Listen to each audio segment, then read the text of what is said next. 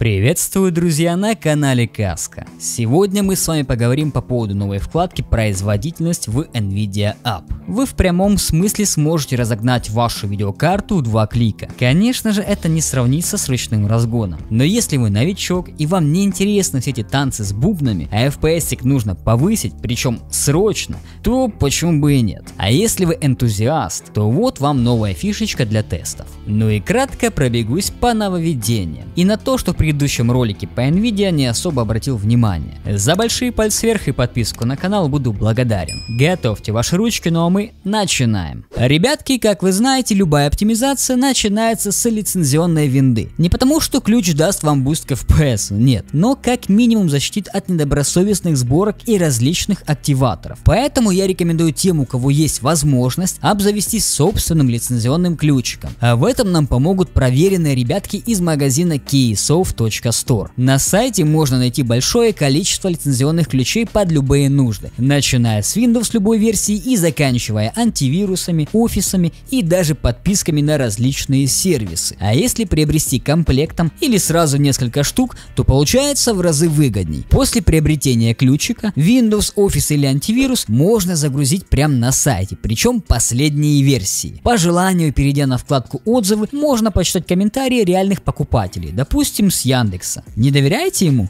Тогда отзовик. Тоже не доверяете? Тогда Тиньков.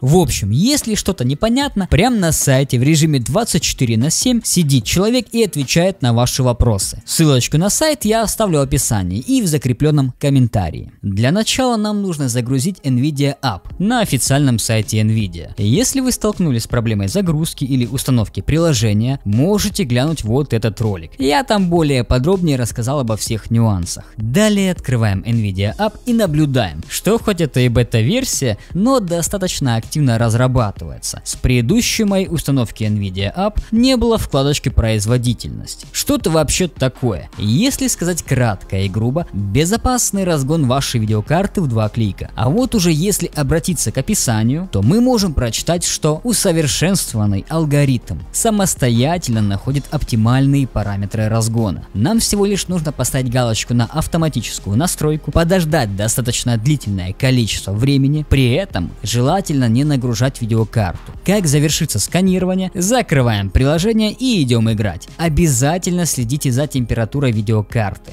В самой программе можем включить все необходимые нам настройки мониторинга. Если будет слишком высокая температура, мы можем вручную для алгоритма задать целевую температуру. Это же касается и максимального потребления с напряжением. Если с охлаждением все в порядке, можете поэкспериментировать. В моем случае результат около 2%. Через тот же MSI Afterburner, конечно же, можно добиться лучшего. И даже с андервольтингом. Но если вы новичок и только-только окунаетесь в эту сферу, то почему бы не начать с простецкого разгона? Купили видеокарту, зашли в Nvidia, нажали, подождали и плюс буст на пару процентов. Кстати, каждый месяц Nvidia будет автоматически производить сканирование вашей системы, для того, чтобы поддерживать оптимальный разгон. Не переживайте, это сканирование происходит только тогда, когда ваш ПК отдыхает. Если я правильно понял, каждый месяц может немножко варьироваться конечный результат. Ну и плюс будут этот алгоритм дорабатывать. Возможно, с выходом новых драйверов Nvidia, которые будут уже наконец-то с открытым кодом. Мы сможем поклацать и добиться чего-то лучшего. Подождем и посмотрим. В любом случае, чтобы получить все эти плюшки, придется переходить на новые чипы. Увы, но такова жестокая реальность. Также, перейдя на вкладку графика, выбрав игру, мы можем включить и задать динамическую сочность RTX и RTX HDR. Что оно делает? Можем прочитать в описании. А если хотите более подробнее узнать, то на официальном сайте все расписано и даже показан пример. Выглядит сочно. В одиночных играх, думаю, зайдет на ура.